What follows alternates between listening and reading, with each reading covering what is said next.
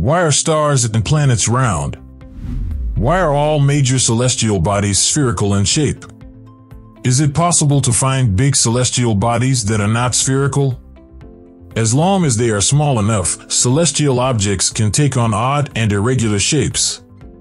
However, there is a mass limit above which every object tends to a spherical shape. Above this limit, the force of gravity overcomes the cohesive force of the bigger surface structures, and any major prominence is drawn with enough force toward the center of gravity to destroy it. As the mass increases, so does the surface force of gravity, and the shape of the celestial body becomes increasingly spherical. Of course, because the sphere is a geometric abstraction, there will always be minor differences. But is that all there is to it? Let's figure it out together.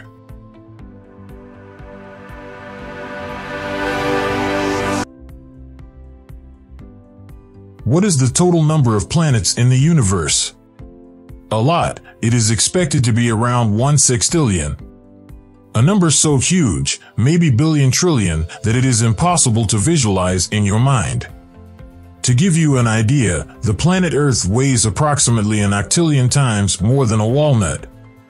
However, all of this infinite is made up of objects that have one feature, they are all spherical. There isn't even a single cuboid, dodecahedral, or heart-shaped one. But why is this so? First and foremost, it should be remembered that we are discussing planets, not celestial objects. The term celestial bodies refers to a wide range of objects with distinct properties and shapes that, for various reasons, can differ significantly from the spherical one. Consider our own galaxy, the Milky Way, which has a disc-shaped structure rich in gas and stars amid a so-called halo of stars spread in a more or less spherical form. However, if we use the term celestial body to refer to particular objects such as stars or planets, it is true to remark that the typical shape is roughly spherical. The explanation for this is likewise pretty obvious. All of the most massive planetary objects, whether stars or planets, are generated by gravitational force, which is the force that attracts matter elements to each other and ultimately to the center of the expanding body. And if a large number of particles are drawn to a single site of aggregation, the result can only be a spherical agglomeration. And the greater the mass being constructed and the lower its density, the more like the end outcome will be to that of a perfect sphere. The physical principle at work is identical to that which causes soap bubbles to be spherical or fat bubbles in broth to be circular. Nature always chooses the shape that uses the least amount of energy. In fact, the spherical has the smallest surface area for the same volume. As a result, the soap bubble tends to take on a precisely spherical shape. In fact, it attempts to organize itself into the shape that requires the least amount of energy to sustain itself. Leaving soap bubbles aside, we may claim that very strong gravity prevents any surface roughness from exceeding a particular height. Mountains greater than around 10 kilometers, for example, cannot exist on Earth because they would gradually collapse in on themselves to a lesser size. With its bulk, the Earth could never have a rougher form than it has, except for the short time required to level out the irregularity. It is estimated that the highest surface roughness on neutron stars, stars whose very high mass and density make the surface gravity a hundred billion times stronger than what we experience on Earth, cannot exceed half a centimeter in height. Relating the dimensions to the Earth's scale, it would be as if there could be no mountains on our planet higher than 5 meters. The level that keeps an object with the physical parameters to be labeled a planet almost precisely spherical is known as hydrostatic equilibrium. A state in which the gravitational pull that drags matter toward the center is compensated by the push caused by material compression. The principle of hydrostatic equilibrium also allows us to determine whether a celestial object is a planet, a dwarf planet, or a small object like an asteroid, comet, etc. In fact, according to the International Astronomical Union's revised criteria for our solar system, planets and dwarf planets must have a spherical shape and have reached hydrostatic equilibrium in order to be designated as such. But how huge must an object be to reach hydrostatic equilibrium? It is determined by its composition, specifically the density of its upper layers. The truth is that gravity is a fairly weak force.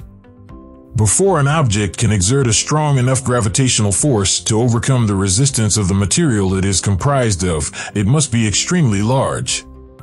This, incidentally, is why you don't have to worry about your bodies collapsing into a spherical shape at any time.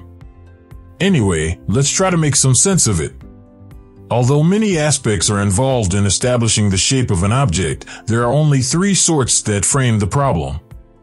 Objects with a diameter of roughly 400 kilometers, if such an item has a snowball density, or 1 gram per cubic centimeter, it will be able to acquire a spherical shape.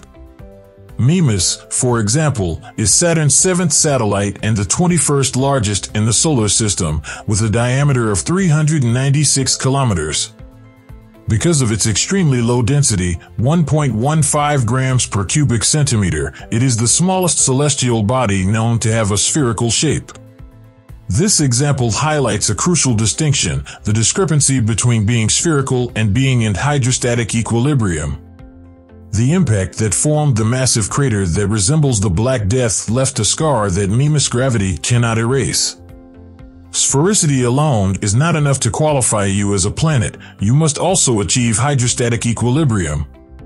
Objects of the same size and density will have more or less irregular forms.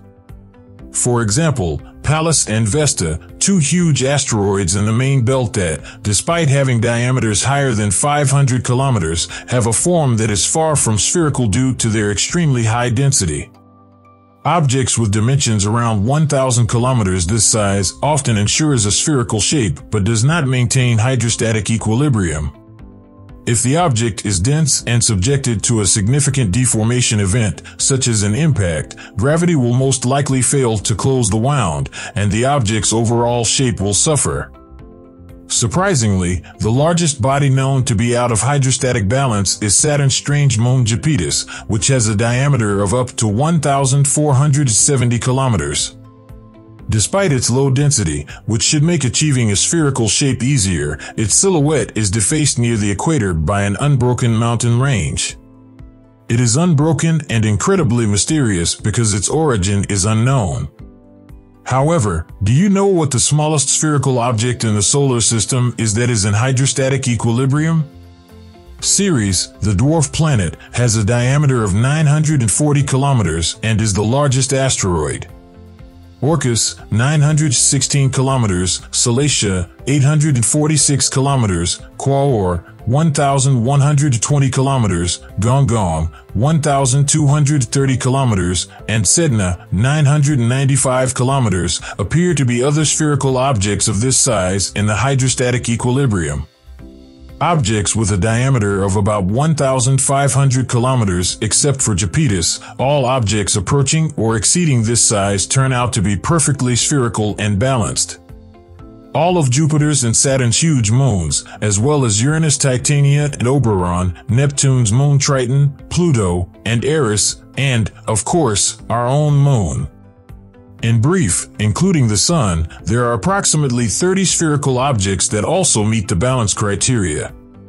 Then there are, literally, millions of small bodies with extraordinary shapes, lumps of boulders assembled in the most rambling of ways, such as Comet Churyumov-Gerasimenko, visited in 2015 by the Rosetta probe, or the small asteroid Itokawa, visited in 2005 by the Japanese probe Hayabusa not to mention the things whose shape defies description.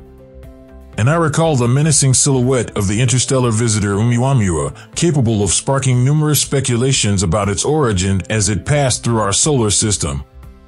Or the strange flying saucer shape of Pan, Saturn's small moon hidden among its rings. So it's all clear now.